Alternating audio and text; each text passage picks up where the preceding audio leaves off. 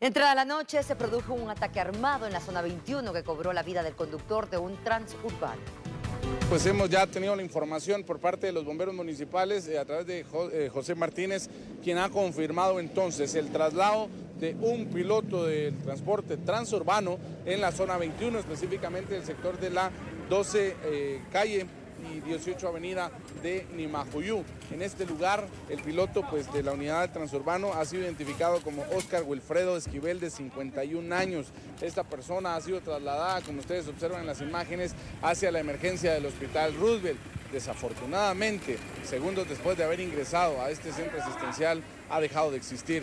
Hablamos entonces ya del fallecimiento de este piloto que incluso llevaba su uniforme que lo identificaba como conductor de esta unidad de transporte. Por el momento se desconoce qué motivó a los victimarios a registrar este ataque armado, se desconoce también si el victimario venía en el interior de la unidad de transporte o iba en alguna motocicleta o en algún otro tipo de transporte, situación que tendrá que realizar investigación criminal de la Policía Nacional Civil y Ministerio Público, los encargados del tema, seguramente pues ya se están dando las versiones y también se está recabando información para capturar al responsable. Pero ahorita se vive un hermetismo y mucha atención por lo que ha ocurrido en este sector de Nimajuyú, en la zona 21.